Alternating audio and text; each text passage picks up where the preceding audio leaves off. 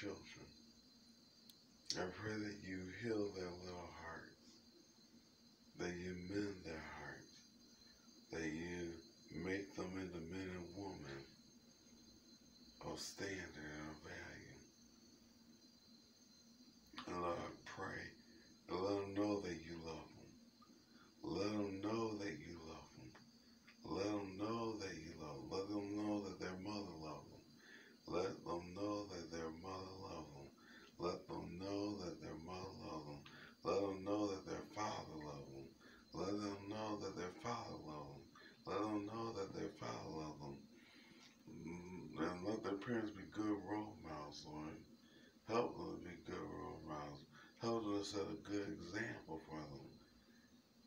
And Lord, I bind that spirit of anger. I bind the spirit of fear.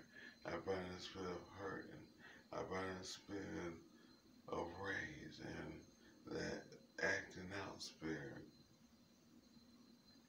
Don't let the devil use them. You use them, Father. And you never save the life for no reason. You never save the life for no reason. Every life you save is for a purpose. Lord, you save them in their foolishness. You save them in their blindness. You saved them when they didn't know any better. You saved them, you said that they are innocent, they're, they're not guilty. And when they were guilty, Lord, you said free them for the just children. And they were born with foolishness. Lord Father, I pray that you continually use them. I pray that you continue to deal with them. For every life you save is for a purpose. Every life you save is for a purpose. Every life you save is for a purpose. Every life you save is for a purpose. You don't save a life for no reason. You don't save a life for no reason. You don't save a life for no reason. Every life you save is for a purpose. And you remember why you saved that life. And you build on that. You expand on that.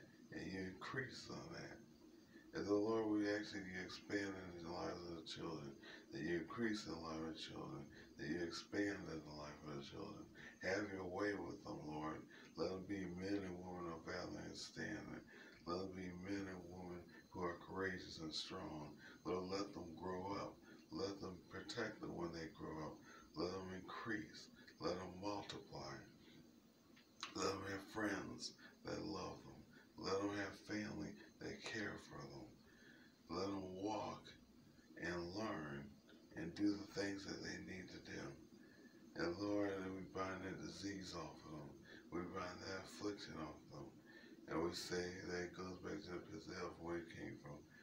For Lord, you did not it was not your plan for them to have diseases and infirmities.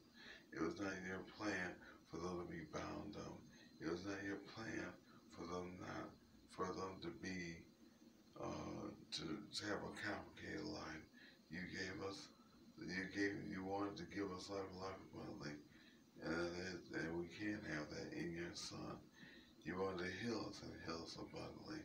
And we can't have that in your son. You wanted to save us, well, save us and save us abundantly. You wanted to keep us abundantly, and we can't through your son. But Lord, they're just children right now. They don't know any better. They don't know how to walk obedient. The parents to train them. Other parents to show them love. Other the parents show that they care for them. Other parents to build them up, that they may walk before you in the beauty of holiness. In Jesus' mighty name.